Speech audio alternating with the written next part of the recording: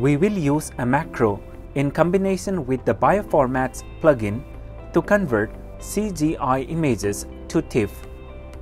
If the Bioformats plugin is missing from your Fiji, install the Bioformats plugin. Once the update is completed, click on Manage Update Sites. In the Manage Update Sites window, scroll down and find Bioformats plugin. Check on this plugin and click Apply and Close. After the plugin installation, a restart of the Fiji may be required. We will use this macro to execute the Bioformats plugin to convert the CZI image file to a TIFF format.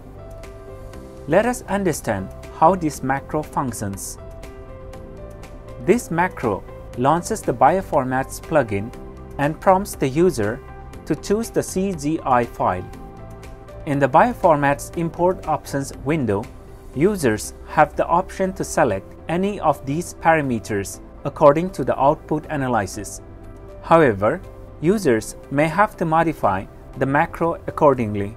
For instance, users can choose any of the color mode options from the drop-down. Let us choose Composite for this video tutorial. Accordingly, users need to change the color mode option in the macro. Users can also use Auto Scale option and modify it in the macro. Similarly, modify the macro to select Split Channels option to split the RGB image into their separate channels.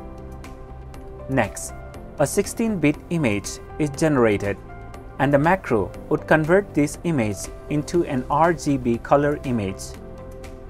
In the next step, the macro saves this image to a TIFF format.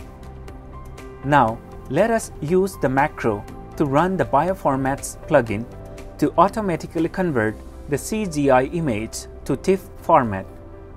This macro code is available in the comments section below. To generate the macro, copy the code and head back to Fiji and click on Plugins, New, Macro and paste the code.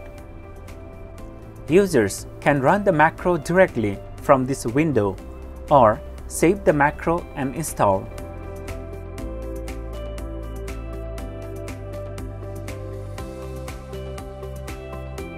To install the macro, click on Plugins, Macro and Install. Select the macro and click Open to finish installation. To save the output TIFF image to be generated by the macro, create a destination folder.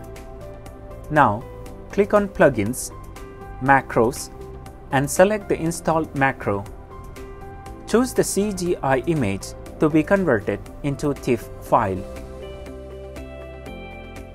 Next, select the destination folder to save the TIFF image. Now, the TIFF image will be available in the destination folder. Thanks for watching.